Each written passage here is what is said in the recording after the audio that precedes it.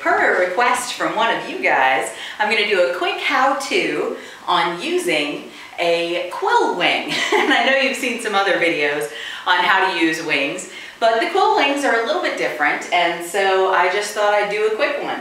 Um, these are what I call the medium wing, and so they've got a 35 inch quill in it, and they're about two yards long, so 72 inches.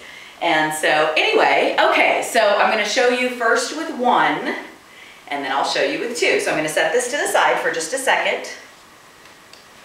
Okay, if you've watched any of the other how-tos, you know that one of the standard movements is a figure eight with your wrist. So you're going like this, and then back, and like this, and then back. And that is absolutely no different with using the quill wing. So basically, you're just doing a figure eight.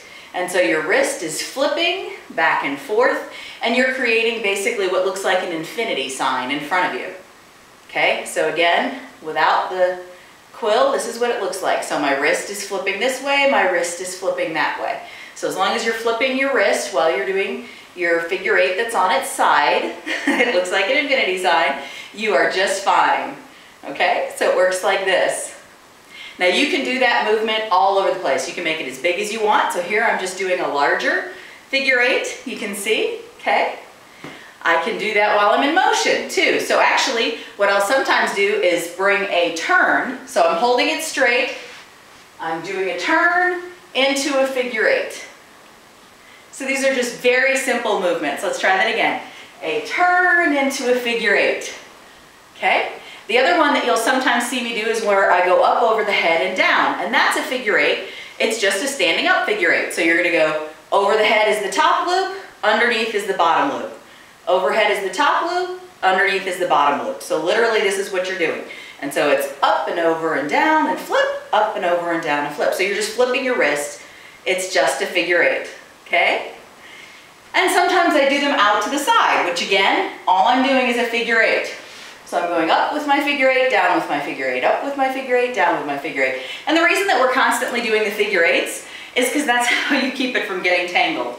Because with the wings, they have this beautiful tail, that's what I call this part, that's not attached to the rod, that can totally get twisted on your arm. And so if you try and move back too quickly, it gets all tangled up, okay? Which you can just shake it and it'll come undone, okay? So when you're doing the figure eights, that's what keeps it from getting twisted, okay? And so when you're doing the vertical ones, like this, again, you're just adding that little flip of your wrist at the end in the eight. So you're adding a flip of your wrist at the top part and at the bottom part. At the top part and at the bottom part. And that flip is what keeps it from getting stuck on your arm. okay? Now, when I go to pick up my second one, You'll notice that actually on most of the moves, I'm doing exactly the same things. I'm just doing them in parallel motion. So here, for this move, which this is one that you see me do a lot, I'm basically doing mirrored figure eights. So we're doing the exact same movement in both hands. We're just doing it where it mirrors each other. So it looks like this. This is your figure eight. And again, you're doing the wrist flip at the top and the bottom, which keeps the tail from getting caught, okay? And so that's a very typical move that you'll see me do because it looks beautiful and big. And the beautiful thing is, is because the quills are flexible, even if they hit each other, it doesn't throw you off. it may make a small click, but it's not like if you were using wooden dowels, okay? And so this move from the side looks like this. And this is a great one, okay? And then also you can do the figure eight that's on its side. That's all this is. And so it just gives a really big effect when you have two. And so these are just simple moves. I am not a complicated dancer with flags. I'm not that coordinated to do that. so again, if I do a spin into figure eights on their side, like this, the other thing I'll sometimes do is I'll keep the figure eight going over here and I'll do the one over my head.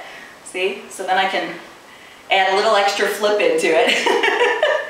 But that's basically it. Those are seriously some of the basic moves and just with those moves, you're able to create something that's beautiful. Because again, I'm just doing figure eights here and then I'm doing figure eights on their side here. And that's it. Hopefully you found that helpful.